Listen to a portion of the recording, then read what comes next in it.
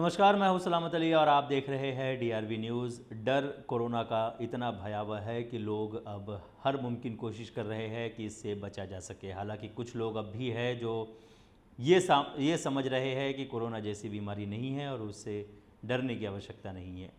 लेकिन जो बीमारी है, वो किसी को भी हो सकती है। जो लोग इस तरह की मानसिकता रख रहे हैं, उनसे गुजारिश है कि वे एक बार अस्पताल का दौरा ज़रूर करें ताकि उन्हें समझ में आए कि कोरोना कैसी बीमारी है और उससे क्या क्या नुकसान और क्या क्या तकलीफ़ें हो सकती है। कोरोना ने पूरे देश को ही नहीं, बल्कि पूरी दुनिया को अपनी चपेट में ले लिया है। इसी बीच हेल्थ इंश्योरेंस की यदि बात की जाए तो लोग अब हेल्थ इंश्योरेंस की ओर रुख कर रहे हैं।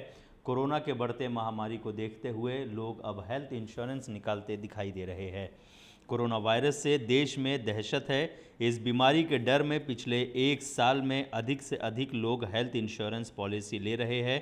इंश्योरेंस फ़ील्ड में पिछले करीब ढाई दशक से काम कर रहे कई जो एजेंट हैं, उन्होंने बताया है कि लगातार पिछले 12 से 13 महीने में करीब 25 प्रतिशत ज़्यादा लोगों ने पिछले कई सालों की तुलना में मेडिकल इंश्योरेंस करवाया है।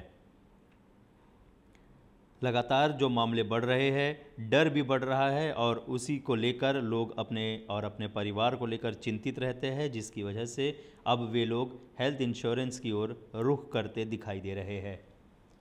ये खबर आपको कैसी लगी, हमें कमेंट कर ज़रूर बताइएगा। साथ ही साथ इस वीडियो को लाइक और शेयर करना ना भूलिएगा। इसके अलावा हमारे चैनल डीआरवी न्यूज़ को सब्सक्राइब ज़रूर करिएगा।